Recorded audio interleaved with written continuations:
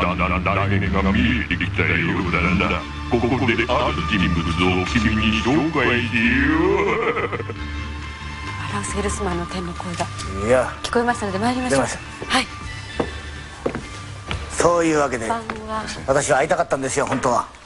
今日初そうなんですええ私テレビでよく見ましたけどねはいえそうですか。じゃあ夢のご対面ということでこんばんは。え同じようなものを作っていただきました。ありがとうございます。いやなんかキューバしのぎっていう感じが見え隠れして私だけなんかパパ誰がた誰が見てもこれインチキ臭いですけどもそうですねでもなんかこの具合がで私に合ってますからいいですけどねそうですで今日はですねこれただ楽しみですね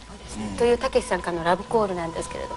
あの朝原さんご自身からご覧になってこの今のまあ宗教ブームっていいますか新宗教ブームとも言われてますけれどもその辺はどのように感じらっしゃるわけですか？そうですねあの来るべきものが来てるんじゃないでしょうか、来るべきもの。ええ、つまりあの人間の物質的豊かさというものがピークに達して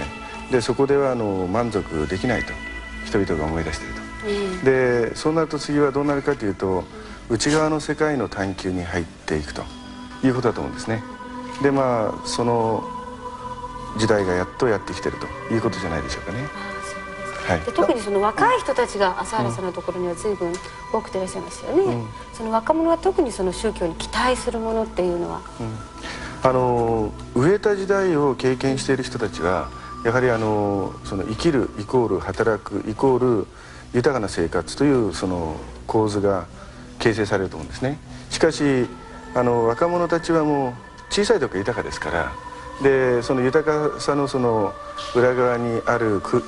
あの空虚さというものこれをやはりあの小さい時から認識してますので、まあ、そうなると当然その物質世界物質社会以外のいやそれ以上のものをやはり求めようとすると。僕なんかはやっぱりこう経済的にも何でもいいんですけどね別に、だけども最近やっぱりやっぱ心の問題にはには間違いないんですけど、心の問題で考えると心が豊かになることっていうのは、そのすごい概念ですから、あのすごいこう精神的なすごいこうなんて言うんだろう頭自分の頭との勝負みたいなところあるんですよね、考え方が、こうじゃないだろうこうじゃないだろう。ただ経済的にダメで食えないっていうことのことに対して満足度って簡単なんですよ。働いてお金稼いで何か食えばいい。でも精神的なものになると、どういうものが価値がある考え方で価値がないのかってそれを具体的に金銭では表せないもんだし、あの大きさもわからないし、あらゆるものそれだと何がああの心の問題でどう考えることが一番幸せなのかと、そういう考え方はおかしいのかとかいろいろ考えるんですけどたね。けしさんが常々言ってるのは本当に幸せだって感じるためには一回自分が幸せからすごく遠のいて離れたところに行ってみないと不幸な思いもしないと幸せがわからない。本当に自分が強いかどうか確かめるためには一回自分がボロボロになってみないとそこから強さっていうのが初めて生まれるっていうようなことを前に宗教を取り上げた時にも言ってましたよねたけしさんも。あとなんか今どうもこう幸せ幸せって幸福とか言うんだけども僕としてはこう生きることと同じように死ぬことがいつも背中合わせにああるもんで、生きること今の時代は生きることばっかしのこうマニュアルとかノウハウを言うんですよ。楽しく生きようとかどうのことだけど常に死ぬことが背中合わせで50%の確率であるもんだとしたら逆に言えば死ぬことばっかし考えてても同じバランスでねバランス感覚で右手を鍛えると同時に左手を鍛えるみたいに死ぬことと生きること同じ感覚でこうあの分量で考えないと非常にバランスが悪いんじゃないかなってずっと思ってるんですけどね。どうですか？その辺はあのオウムに期待してる若者は大変多いと思いますけれど、その今を豊かに生きるっていうのと同時にもう一方にはちゃんといつかは死ぬんだっていうことをどのぐらいのこう意識の仕方っていうか認識の仕方は、としてはあるんでしょうね。あの私たちは生きてますからあの生きてるということはもうすでにそのまあ死を死の概念を叩き込んだとしても、まあ、せいぜいがやはりあのビートたけしさんのおっしゃる通り50%ぐらいにしかならないと思うんですね。でそういう意味でそのオウム真理教の教えのまず大前提に来るのは死というのが来ます。でこれをどうするのかという問題になってくるわけですね。であの私はあのビートたけしさんの、まあ、今までのそのここのマスコミにおける活躍を見ていて感じることはあの大変その試作力の優れた方だなと。試作というのは、えーやはりあの絶えずものを考えていらっしゃるなというふうに思うんですね。であのそのものを考えることから全てはスタートするわけなんですね。宗教もそうですけども。まあ、あのもちろんその前提にはどういう考え方をしなさいという基本的な教えあるんですけどもそれをその使いこなしていくこともその考えることそれから、えーそれを考える単純に考えるだけではなくて実践に結びつけて考えることだと思うわけですね。でまああの私がびっくりしたのはそのビートたけしさんがいきなり死の話をお出しになったんであのやはりさすがだなということと同時にやはり相当に深く仏教観本当の意味での仏教観が根付いていらっしゃるんだなとちょっとびっくりしましたね私はね。そうじゃないとまあだけどもあへまあ変な話なんですけど例えばあのこの宗教に入るとあの、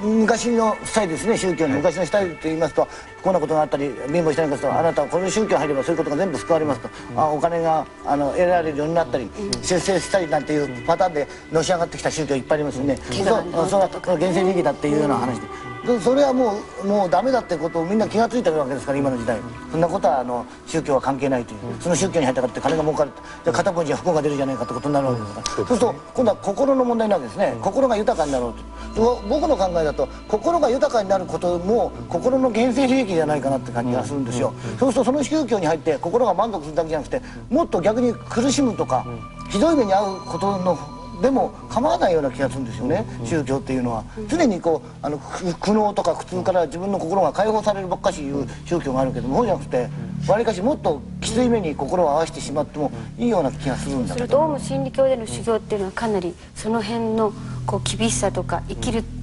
ことの苦痛っていうのを身をもって感じる何かっていうのは他と違ってあるわけですか？それありますね。あのまたこれはちょっとびっくりしてることなんですけどその今ビートたけしさんのおっしゃることっていうのはあのこれは、えー北伝つまりインドから、えー中国まあティベット中国日本を通ってきた、まあ、仏教があるわけですけどその中のその最高峰と言われているチベット仏教の中のあのマハームドラーというあの要するに最高の悟りがあるわけですけどその最高の悟りに到達する道の真髄なんですね、つまりその人のもともと持っている内側に隠されている苦しみを引き出してあげると。これはあのグルが引き出すわけですけどグルというのは要するにあの師匠が引き出すわけですけどその引き出してあげてそれを取り除いてあげると。それによってその人のその本当の心を解放してあげるというか、まあ、そういう教えがあるわけですね。でまさに今のあのビートたけしさんの言ってらっしゃることはあのその真髄を言ってらっしゃるんだと思いますそれは。でもそれをなかなかこう身をもってこう経験するっていうのは、教えを教えとして理解することはみんなできると思うんですけれどとても実際難しいことじゃないんでしょうか？いやあのこれはあの人間を構成しているものこれはまああの要するにこの肉体と感覚それからイメージそれからあの意志ですね。そしてもう一つあの今まで経験してきた全てのデータこれらを一つ一つそのクリアにしていくという作業を行えばどんな人でも最高の悟りを得ることができますね。あとすごいこれ子供の時からずっとこうして今日はねあれ面白い子供の時からずっと悩んでることってあるんですよ。でこうなんでこう人というものありますね、まあ、我々まあ人間と称するんで、こう、まあ、他の生き物なんだけどこう自分が動くためとか生きるためにこうなんか口に入れて、ふうにして出さなきゃいけないって、この状態っていうのはどうして変わらないんだろうかっていう気がするんですけどね、それはあのそれは原子とか分子レベルになれば何も死んでないとか形は全然変わってないんだって通り過ぎるだけだとは思うんですけど形のあるものをまたこう摂取しなきゃいけないとかそういうことでこうあの成り上がってる人間というのはあの心をいくら鍛えてもどうするんだろうかってその部分に対するこう対応の仕方っていうかいやあの急にまあ急に子供になってしまうんですけど話がこ。子供というよりもですねあのそれもまたあの仏教の奥義の瞑想の一つで、まあ、この肉体を完全にあの不浄のものと見ると。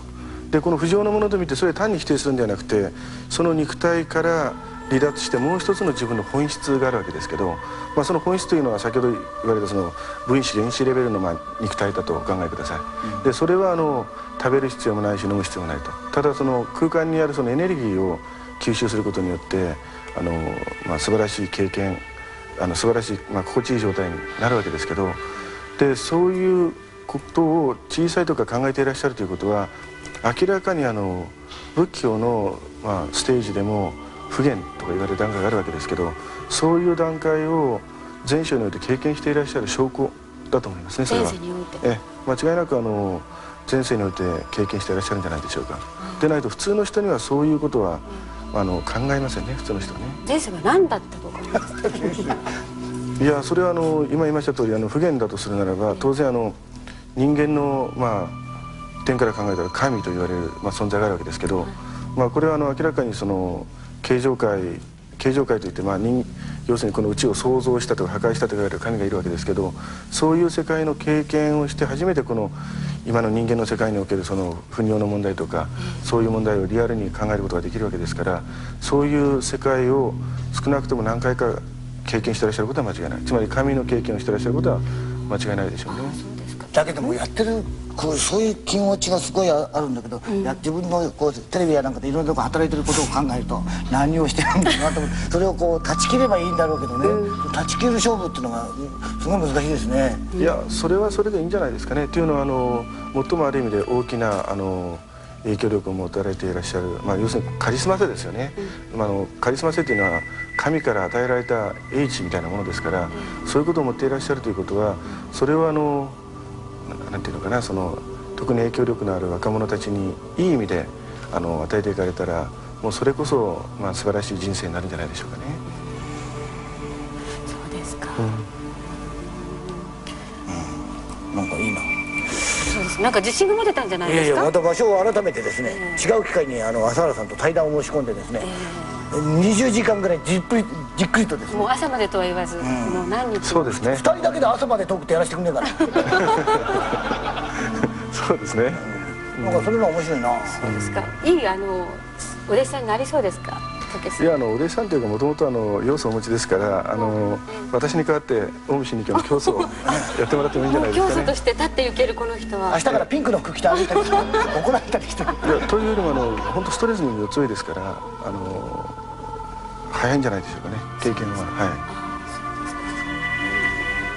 でも竹さんの場合はなかなか仕事を辞めてっていうそういう形の落ち着き方はしないと思うんですけれどね。この人から仕事を取ったら今あの煩悩の方は別として、あの名目というか一番大事な部分っていうのは私は仕事だと思うんですけどどうでしょうね。